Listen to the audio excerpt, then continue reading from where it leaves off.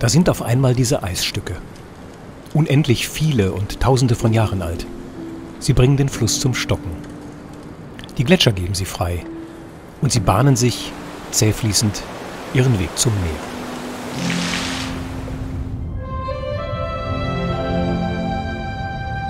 Ebenso zäh fließt die feurige Masse aus dem Erdinnern den frischen Kraterrand herunter, immer wieder neue Feuerflüsse bildend.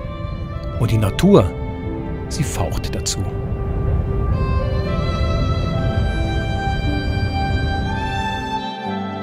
Kurz unter dem Polarkreis, irgendwo zwischen Norwegen und der eisigen Welt Grönlands, da gibt es diese Naturwunder. Und die Insel, die heißt Island.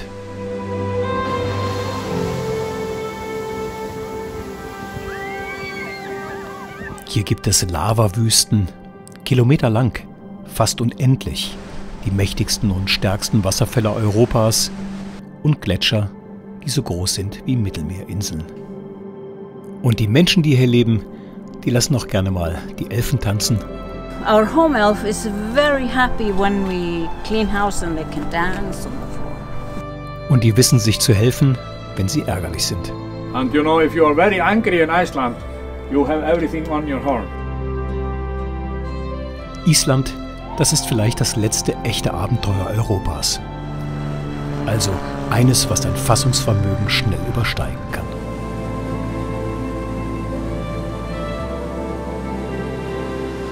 Hier wird sogar die Fantasie lebendig. Das Auenland. Das ist das Auenland. Und wer friert, der geht einfach baden. 41 Grad, das ist richtig, richtig heiß.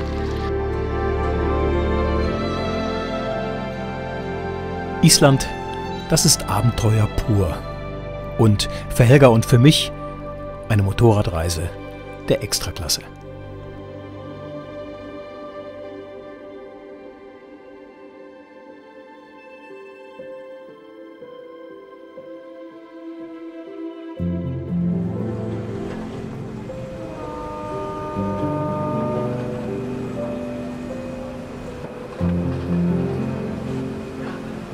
Wir sind in Hirtshals. Das ist ganz oben im Norden von Dänemark. Und hier, hier legt die Fähre nach Island ab. Von hier aus sind es gut 1500 Kilometer quer durch das Nordmeer. Und du bist dann ganze zweieinhalb Tage auf dem Wasser.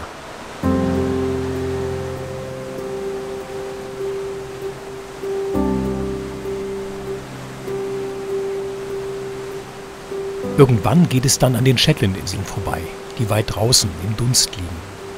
Und es gibt noch einen kurzen Stopp auf den Färöerinseln am Nachmittag des zweiten Tages. Und von dort an gibt es nur noch das Nordmeer bis nach Island.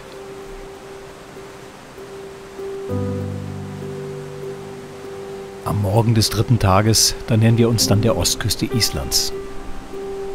Die trübe Nebelsuppe die verzieht sich rasch. Und die Insel mit gerade mal drei Einwohnern pro Quadratkilometer, die strahlt uns himmelblau entgegen. Sedisfjörður heißt der Fährhafen. Ein Kai, nur für die Fähre. Ein paar Häuser, mehr gibt es hier nicht. Dann endlich rollen wir an Land und unser Abenteuer beginnt. Wow, welcome to Iceland. Oh mein Gott. Das ist geil. Muss jetzt erstmal ein Foto machen.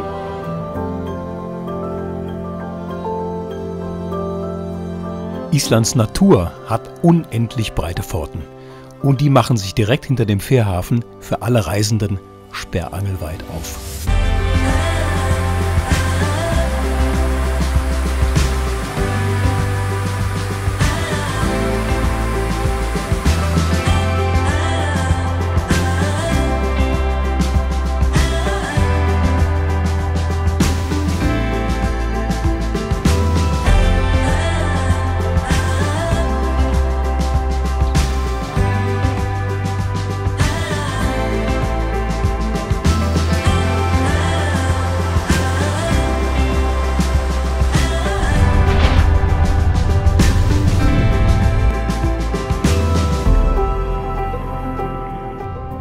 Wird die Staupiste auf einmal mit Edelschotter garniert und wie ein Lindwurm schraubt sich der dunkelbraune Weg durch 15 Kehren nach oben.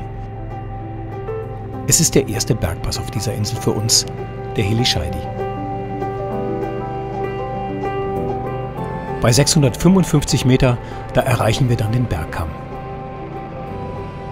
Und unter uns, da liegen die schwarzen Strände von Herrezandyr.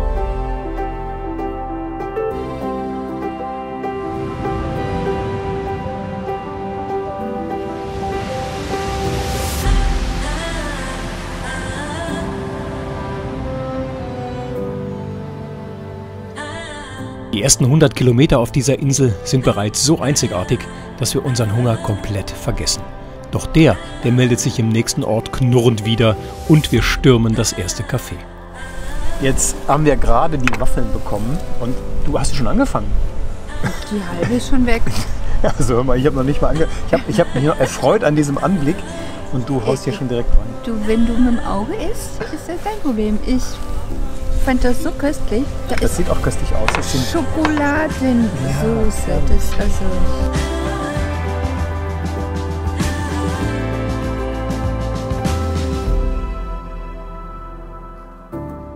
Dieser lupinengesäumte Weg, der endet in Bakkafjörður, ein Weiler mit einem Campingground und hier suchen wir uns unsere erste Übernachtung. Gehört denn das dazu? Und dann kommt Thor, der Platzwart dieser Campingwiesen, auf uns zu. So we want to stay here for one night. That's possible. Kein Problem, sagt er, Platz ist genug. Und dann kassiert er bei uns noch 15 Ah, Euro für die Nacht. Ach ja, sagt er, geduscht wird in der Turnhalle. Das ist unsere erste Unterkunft auf Island im Bakkafjörður. Da gibt es da vorne das Gasthaus und dann haben wir hier diese kleinen Stellplätze, wo wir uns äh, breit machen können. Und irgendwie sind wir gerade ziemlich stolz auf uns. Denn hier im Nordosten Islands gelingt uns unser Campingstart nach 20 Jahren Pause viel besser als erwartet. Sogar mit komplettem Abendmenü. Wenn die Sonne untergeht, dann ist es windstill. Aber wenn die Sonne wieder aufgeht, dann fängt das wieder an mit dem Winden. Und die geht ja hier um 2.35 Uhr auf oder so. Ja, also so richtig dunkel wird sowieso nicht diese Nacht. Ich bin hellwach, ich habe jetzt auch noch einen schwarzen Tee getrunken. Ich könnte jetzt die Nacht durchfeiern hier. Es ist, die Sonne ist untergegangen und guck mal, wie hell das draußen ist. Es ist. Ja, also. Ich habe noch eine Augenbinde dabei, wenn du möchtest. Nee, nee, alles gut, alles gut. Kannst ja auch einen Buff, weißt du, so über den Kopf ziehen. Geht auch irgendwie.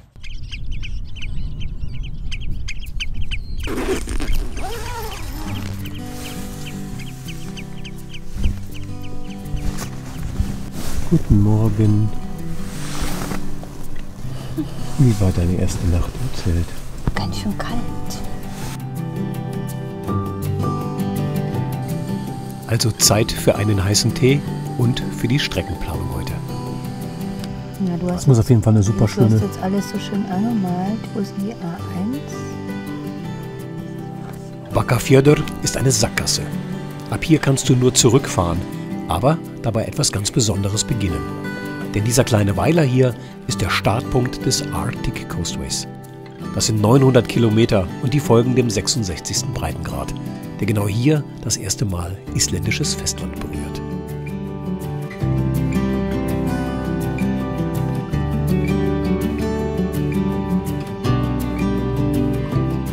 Wir verpassen einen Abzweig über eine Hochebene und biegen auf die 874 ein. Das ist eine Schotterpiste, die um die Halbinsel Melrakasletta führt, die Halbinsel der Polarfüchse, geradewegs in die Einsamkeit.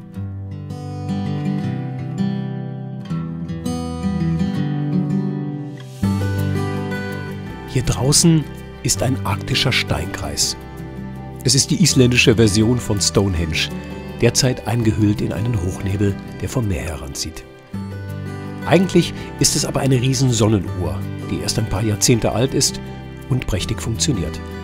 Wenn das Wetter mitspielt, dann scheint zur Mitsommernacht am 21. Juni die Sonne hier durch den südlichen Bogen.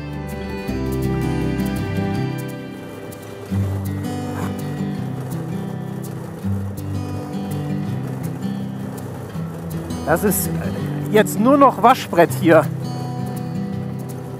Das schüttelt uns hier durch. Das ist der absolute Hammer. Jetzt beginnt ein Schlingerkurs durch diese weichen Schotterbetten. Und es heißt locker bleiben. Ich drehe beherzt am Gas und mein Blick scannt ständig die Piste nach festen Fahrrinnen ab. Was ist das? Keine Ahnung. Ist denn der, der Ständer runter? Sonst wieder. Und ich Mal muss mal halten. anhalten und gucken, was das ist. Wir atmen durch. Es ist nur der Kettenschutz. Aber der, der ist ganz schön abgefetzt. Die Aluminiumhalterungen, die sind komplett gebrochen. Wenn das Ding in die Reifen oder in die Kette oder sonst wo gekommen wäre und das auf dem Schotter statiert, dann hätten wir doch auch doof ausgesehen, oder? Naja, da hätten wir auf jeden Fall gelegen, ne? Ja. Und das in voller Fahrt. Und immer dann, wenn uns der Schrecken noch so richtig in die Knochen sitzt, dann machen wir das, was sich bewährt hat. Eine ausgedehnte Kaffeepause. Ich hätte gerne ein Carrot Cake. Carrot Cake. Hast du schon sondiert? Ja, Was gibt's da? Homemade. Alles hausgemachte Torte. Und sie sagt eine kleine ähm, Auswahl und es ist so viel da. Da freuen wir uns doch drauf. Guckt euch das an. Ist das geil? Uh.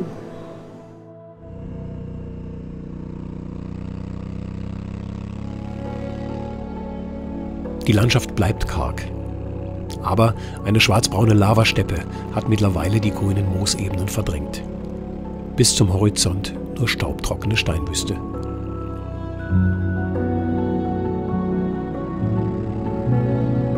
Einzige Abwechslung auf dieser staubigen Piste, das sind die rötlich schimmernden Eisenerzhügel.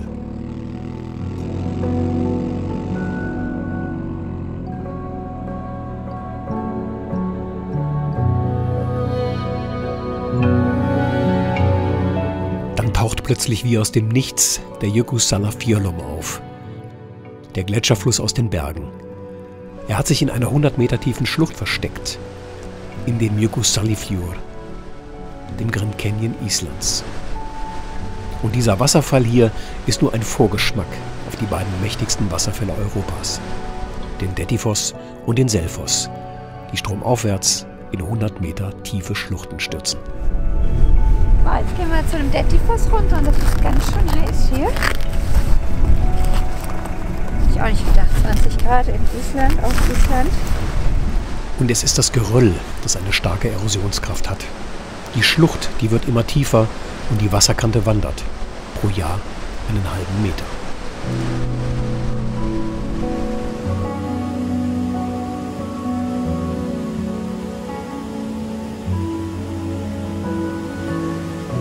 Wir gehen bis an die Fallkante. Sicherung? Fehlanzeige. Wer hier nicht aufpasst, dem ergeht es wie Prometheus. Ridley Scott hat ihn im gleichnamigen Film genau hier in die Tiefe stürzen lassen. Die Natur, das wissen die Isländer, die kann man hier nicht bändigen. Schon gar nicht mit Zäunen. Und deswegen setzen sie auf den gesunden Menschenverstand. Denn der ist bei diesen Naturgewalten hier draußen überlebenswichtig. So, wir haben es geschafft. Wir haben jetzt einen Campingplatz. Und wir haben einen Laden und wir haben was zu essen. Und wir sind echt total happy, dass wir das jetzt auf die Reihe bekommen haben. Lagebericht. Helga hat alle ihre Sachen an. Jetzt habe ich geschlagen. Okay. So sieht es bei uns im Zelt aus gerade. Noch heißen Tee, damit man hier Es gibt noch heißen Tee, genau. Ich schlafe sogar mit Handschuhen heute Nacht.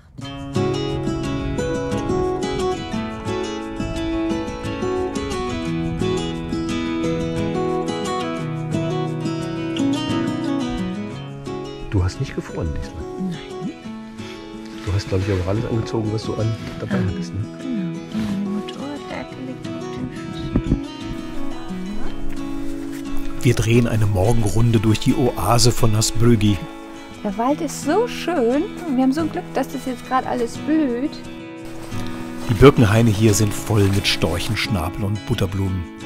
Und das direkt am Rande eines der größten Wüstengebiete Europas. Karges Island, von wegen. Der Sage nach hat hier das achtbeinige Riesenpferd Sleipnir vom Götterboss Odin bei einem seiner Himmelsritte hier ausgetreten und die Schlucht war geformt. Tja, und ein Elfenpalast, der soll sich hier auch noch verstecken. Und diese Geschichten, die landen hier in Island nicht einfach in den Märchenbüchern, sondern auf Hinweisschildern am Wegesrand.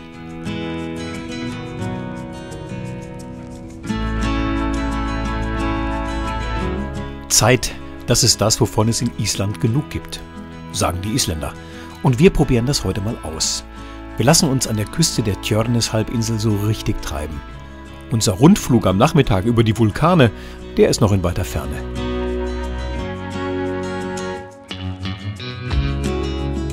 Und ständig an unserer Seite heute ist das türkisblaue Nordmeer. Im Untergrund ist es jedoch nicht ganz so idyllisch, denn hier verläuft der mittelatlantische Rücken, eine mächtige gespaltene Erdplatte, die so langsam gen Norden wandert, von Erdstößen begleitet. Doch heute ist alles ruhig, die Erdplatte macht eine Pause. Die vergessene Zeit, sie kommt natürlich wieder. Und dann drängt sie uns. Wir fallen in alte Muster zurück, lassen uns hetzen und geben kräftig Gas. Und das war richtig dumm. So, jetzt äh, kommt die Polizei. Wie viel haben wir denn gehabt? 100? Hi, hello. Hi. yeah, yes, English, English. yes, please. Then yes, of course. Because we want to drive to Mewatan. We have a flight at 4 o'clock. Ja. Wir haben ein Radar von vorne, sagt er uns. Und statt den erlaubten 90 km/h waren sie mit 110 unterwegs. Really? Oh mein Gott. Es ist okay, sagt er. Kein Thema. Aber es kostet etwas. Okay. Und zwar 50.000 isländische Kronen. Wenn wir aber direkt zahlen, dann kann er uns noch 25% Nachlass geben. Okay. Wenn du es jetzt bezahlst. Now, directly. Ja, genau, sagt er, in ihrem Interesse. Und natürlich kann ich auch mit Karte zahlen. So I hope it was the last time to get in contact with you. Und dann rechnen wir die Summe um. 37.500 ISK in Euro. 250 Euro. Das ist nicht wahr. Oh! no. Ja. Nein, wir hätten trotzdem das Speedlimit einhalten müssen. Nee, natürlich hätten wir das. So eine Scheiße. Oh, das nervt mich jetzt aber. Mm, dann verpassen wir den Flieger jetzt wahrscheinlich auch noch und dann war's das. Dann ärgere ich mich schwarz. Und dann schaffen wir es sprichwörtlich auf den letzten Drücker. Einer, unser Pilot, der steht schon wartend auf dem Rollfeld. Uh, the flight is about uh, one and a half hour. Uh, we are gonna fly to here around Mývatn, then we fly up to Askja and up to the Vatnajökull glacier, Kverkfjöll, and then back to Mývatn and up to the Krafla area.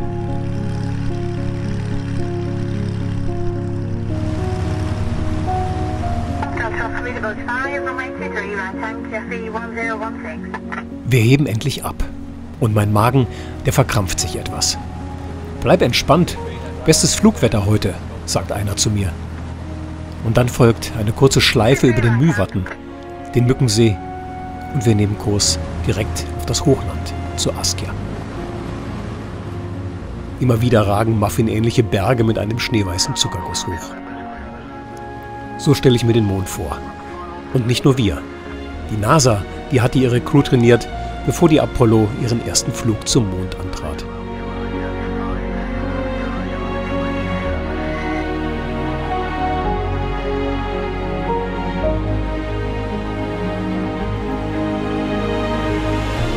Dann erreichen wir die Askja, das größte Vulkansystem der Insel. Soweit das Auge reicht, Vulkane. Und dazwischen die Gletscherzungen des Vatnajökull. Askja hat eine bewegte Geschichte von gewaltigen Eruptionen hinter sich. Der letzte Ausbruch, der fand 1961 statt. An der Askja, da hat sich das Land in den letzten Jahren um einige Zentimeter angehoben, sagt uns einer per Funk. Gut möglich, dass sich die Magmakammern in den Vulkanwurzeln langsam wieder füllen. Vorboten von Eruptionen, die gibt es ständig, sagt er uns. Alles wird hier überwacht. Nur, wann es wieder soweit ist, keiner weiß es. Wir werden sehen. sagt er noch.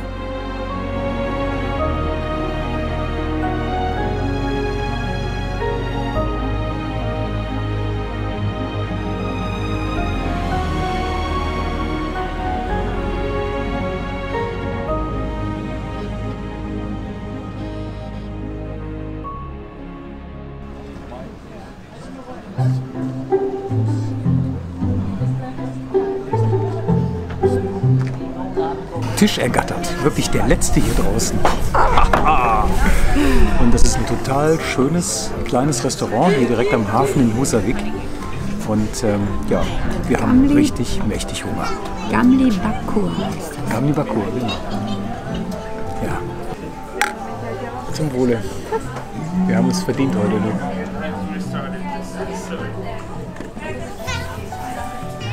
Wow. Das ist total lecker. Ein Erdbeerbier ist das. Heißt Helga. Raspberry Sour, ein saure Erdbeerbier.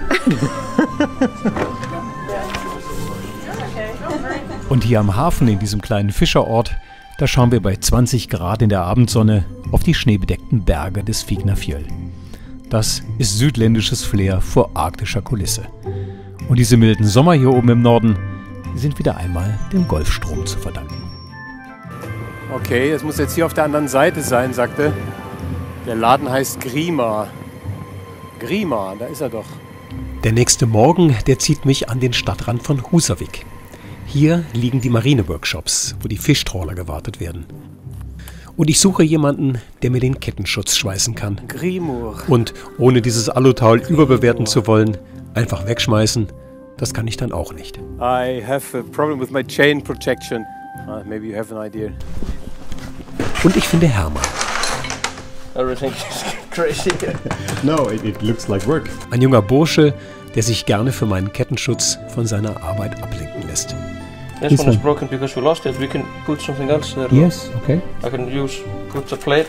Und ich erzähle diese kleine Episode vom Rande unserer Reise deshalb so gerne, weil Hermann sich diesem Aluteil so intensiv widmet, als wäre es das wichtigste Teil eines Schiffsmotors. Dann erzählt er mir von den großen Fischfangflotten in der Koreri. The big trawlers who can take all of, from 200 tons of fish in one round. 200 Tons. Yeah, and up and up to 1100 tons. Wow. Und irgendwann, da erzählt er mir noch, will er auf diesen großen Schiffen als Ingenieur erneuern. And to be an engineer there, you have to like go through the, your sailing time and the school and everything. And when you're there, like the like engineer number one, there are usually two engineers. You are getting very good money. Dann zieht er die letzte Schraube an und alles ist wieder dran. Ich bedanke mich herzlich bei ihm, lege noch ein fettes Trinkgeld oben auf und bin mir sicher, dass Hermann seinen Platz auf dem Nordmeer finden Wie viel Grad haben wir denn? 20 zeigt er an. Mein Gott. Wir biegen auf die Ringstraße ein. Das ist der geteerte Sicherheitsanker durch dieses Abenteuerland. Und irgendwann, so heißt es, kommt jeder zu dieser Straße Nummer 1 zurück. Mit 1332 Kilometern umspannt die Ringstraße die gesamte Insel und sie ist gespickt mit Naturdiamanten. Und einer davon, das ist der Godafoss, der Wasserfall der Götter. Wenn jetzt die Sonne noch scheint und wir hätten bei dem Godafoss einen Regenbogen, wäre schon cool, ne?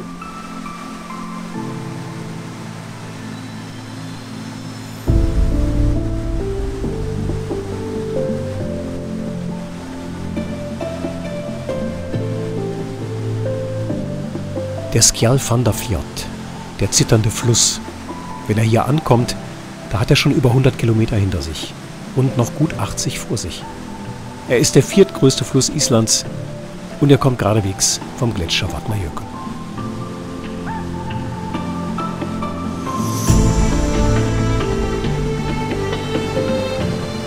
Für den göttlichen Namen dieses Wasserfalls waren aber diesmal keiner von Odins Leuten verantwortlich, sondern ein Mensch aus Fleisch und Blut.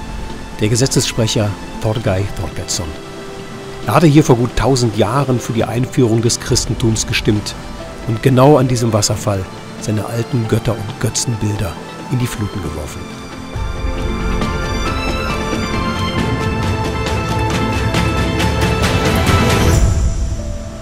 Dann der Regenbogen. Und es scheint so, als ob sich die Götter hier haben nicht vertreiben lassen.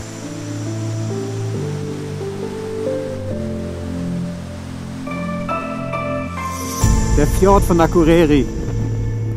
Unglaublich schön.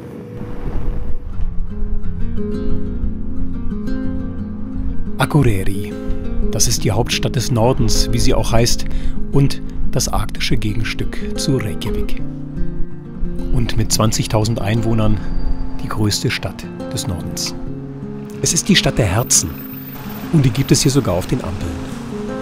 Eigentlich waren diese Herzen während der Finanzkrise als Trost gedacht, doch dann blieben sie und sind heute so eine Art Markenzeichen der Stadt geworden. Helga nimmt sich heute Zeit für ein bisschen urbanes Leben. Während ich nochmals aufbreche. 11.13 Uhr, jetzt müsste ich eigentlich nochmal den Tageszähler zurückstellen. So, auf Null. Mein Ziel ist das Camp Laugerfell, mitten im Hochland. Der Rundflug gestern, der hat's mir angetan. Und ich muss da nochmal hin, mitten hinein in das Fernab von allem.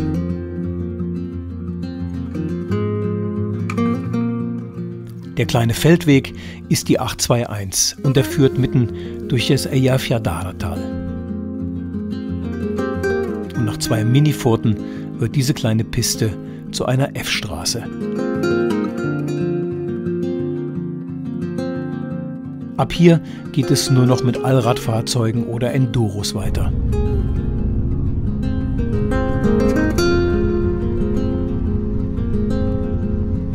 Dieses Schild, das ist der Hinweis darauf, dass ab sofort hier nur noch äh, Four-Wheel-Drives oder eben Motorräder mit äh, Enduro-Reifen fahren dürfen. Äh, alles andere ist hier verboten. Vor allen Dingen die Mietautos, die dürfen hier nicht langfahren. Und dann versperrt mir eine große Eisenkette den Weg. Und auf dem Schild steht, gesperrt wegen Tauwetter. Hier endet mein Hochlandausflug unfreiwillig. Das Schmelzwasser hat das gesamte Tal geflutet. Auch wenn es von hier passierbar ausschaut, die isländischen Behörden hängen nur dann Warnschilder auf, wenn es wirklich was zu warnen gibt. Ich gebe so schnell nicht auf und versuche mein Glück weiter oben im Osten, im Bavardalur-Tal. Dass ich aber von dort aus auch nicht ins Hochland komme, das liegt einzig und allein am Ardeyerfoss und seinen ockerfarbenen Basaltsäulen. Tja, und dann, dann stehe ich wie so ein Abenteurer am Rande der Welt, lasse meine Drohne kreisen und vergesse die Zeit mal. So, jetzt sind wir in Dalvik und jetzt müssen wir nur noch den Fähranleger finden. Aber das dürfte wohl bei dieser Größe dieses Ortes hier echt kein Problem sein. Sagt dem Fischgeruch nach. Ah, das, ja, genau. Hm, du hast die, fein, die feinere Nase von uns. In Dalvik legt die Fähre zur kleinen Insel Grimsey ab. Doch mal so eben rüberfahren ist das aber nicht. Das sind immerhin drei Stunden Richtung Norden.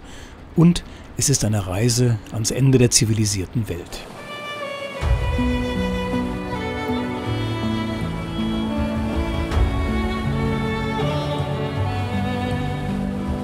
Wer nach Grimsey fährt, der sucht dort den nördlichen Polarkreis, der hier auf die Insel trifft, und Papageientaucher.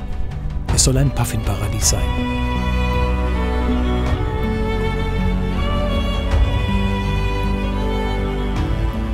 Und die Seeluft hier draußen, die hat heute so richtig Biss. Denn der Wind, der kommt direkt vom Nordpol rüber.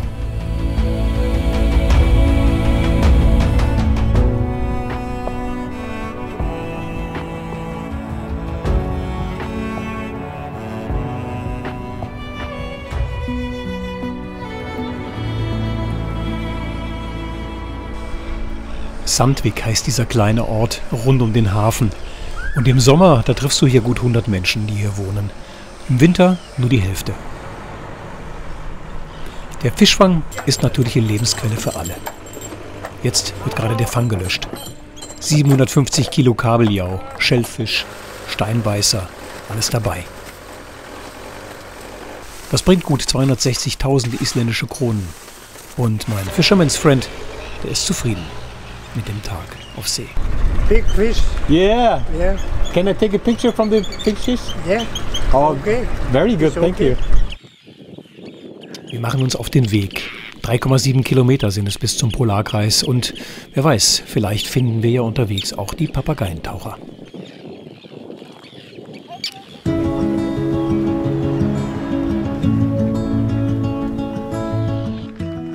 Das ist der Polarkreis. Was siehst du? Ah. Okay.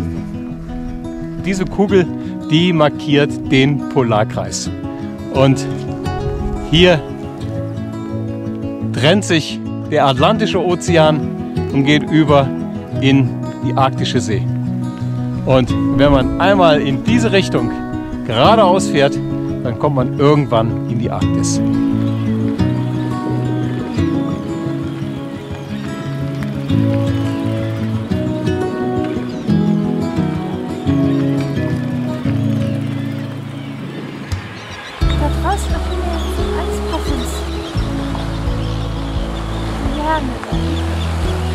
Viele Jahre jagst du jetzt schon Vier Jahren. Endlich habe ich Papageientaucher.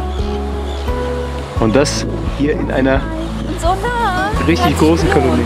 Grimsee hat sich so gelohnt.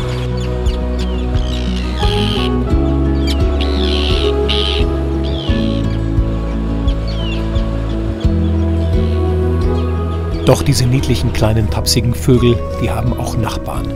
Und das sind Killerschwalben. Und die, die schrecken vor nichts zurück. Das sind die Seeschwalben, die attackieren einen. Wo wir hier auf festem Wege sind, gehen wir aber gerade durch die Brutplätze von denen. Und das finden die gar nicht so lustig und reagieren entsprechend aggressiv. Komm her, du. Ich mach dich fertig.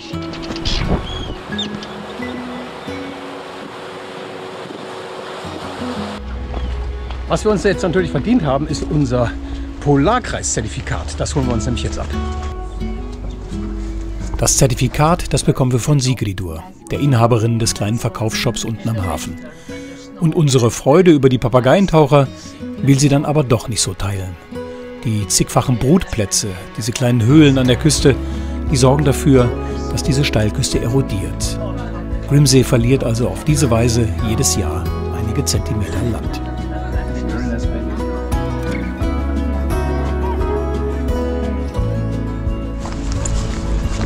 Jetzt haben wir unser Zertifikat und jetzt sind wir amtlich bestätigte Arctic-Reisende. Und dann geht's wieder zurück. Von der ganz kleinen Insel auf die große Insel. Zusammen mit dem Fisch, der heute gefangen wurde.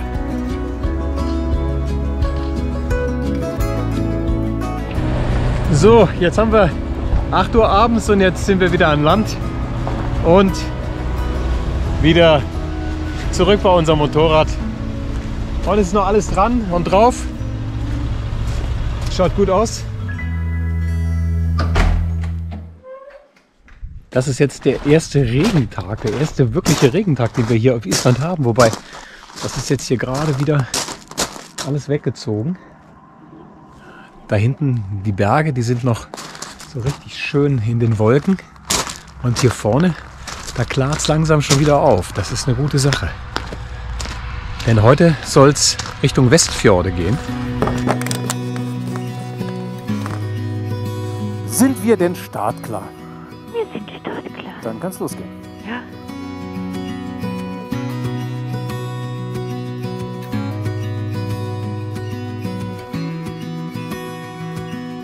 Je weiter wir nach Westen kommen, umso mehr bestimmen heute die Trolle das Wetter.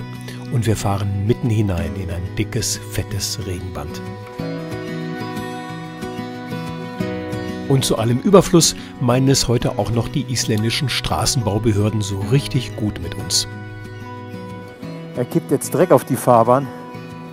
Das muss aber nicht sein jetzt. Ne?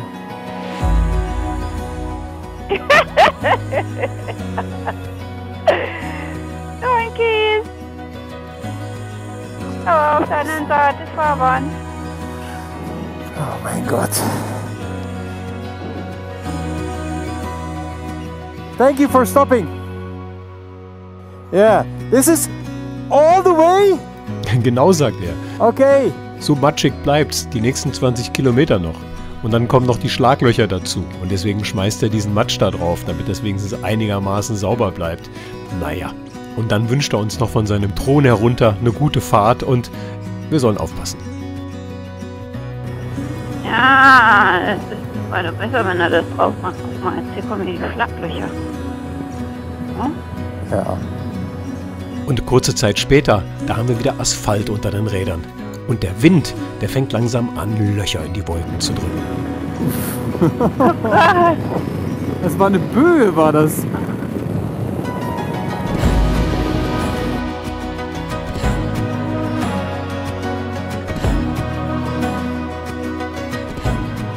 Und dann, nur ein paar Kilometer weiter, als wir auf die Wattensnäs Halbinsel abbiegen, da hat sich der Wind endgültig durchgesetzt. Es ist die letzte Halbinsel auf der Ost-West-Route des Arctic Coastways, die gerne mal übersehen wird, weil sie so unscheinbar und entspannt am Rande der Ringstraße liegt.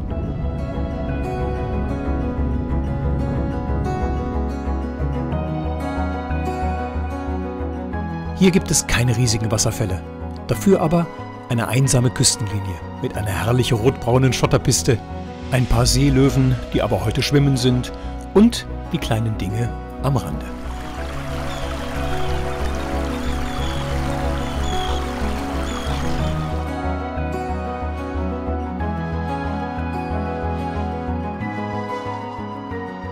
Oh, wie geil ist Da das? fährt man so direkt in so eine Erdspalte rein. Guck mal. Ja. Wie geil ist das? Entschuldigung, ich bin zu schlicht. ja. Hier fällt, ich hatte dir gerade gedacht, hier fällt jetzt aber auch nichts mehr ein. Ne? Nein, mir fällt gar nichts mehr ein, genau. Außer, wie geil ist das?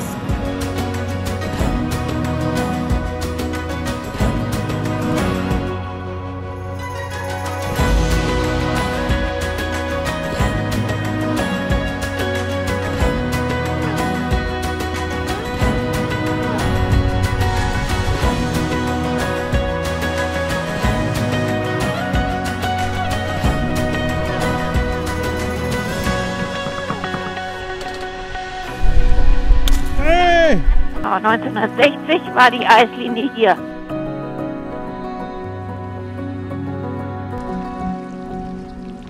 Da hinten dampft es noch und hier ist es schon ein Stückchen erkaltet. Du hast die Hintertür aufgelassen, jetzt ziehst natürlich.